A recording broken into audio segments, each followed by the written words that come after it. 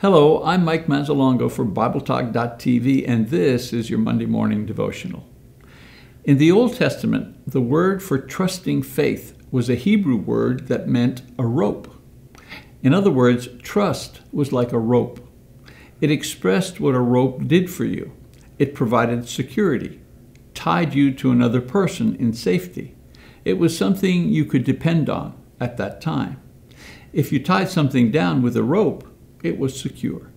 This is why this word was used to convey the idea of trust. I'd like to use this imagery to explain something about how trust is built and how trust is destroyed. First of all, making a rope is like building trust. A rope is made by intertwining many strands together. The more strands, the stronger the rope. The better quality strands, the stronger and more dependable the rope. Now, trust between two people is built in the same way.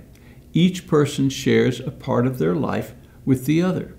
The more they share, the stronger the tie of trust. The deeper their service, their intimacy, their sacrifice, the more dependable the relationship is to withstand wear and tear through usage. A well made rope can be used over and over. A well made relationship is able to go through many trials. Secondly, destroying a rope is like breaking trust.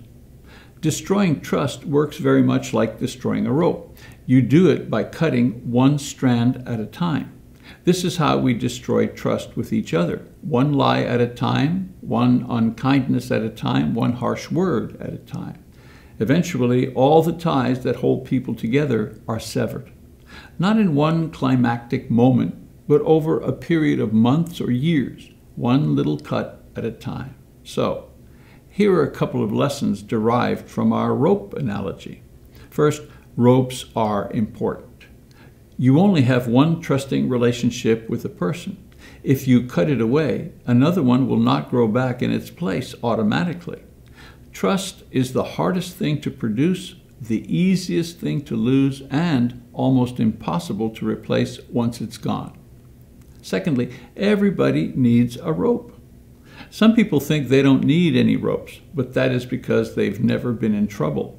When trouble comes, and it does come, you'll be happy that there are strong ropes of trust to hang on to while you go through life's challenges.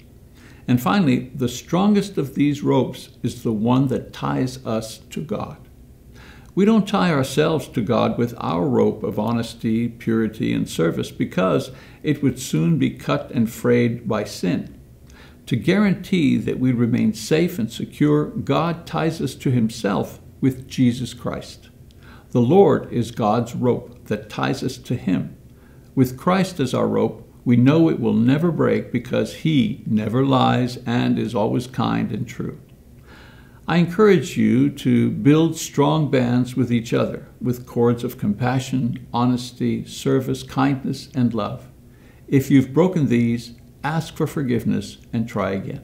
And I invite those who are not yet bound to God with the cord of Christ to tie themselves to Him now through repentance and baptism, or through repentance and restoration, whichever is appropriate for you. God bless you with the peace that surpasses understanding as you stay tightly bound to Him through Jesus Christ, our unbreakable bond.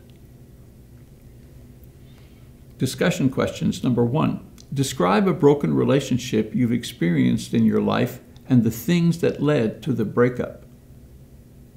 Number two, what is your personal approach to build trust with others? What are the risks you have to take to create a strong rope of trust?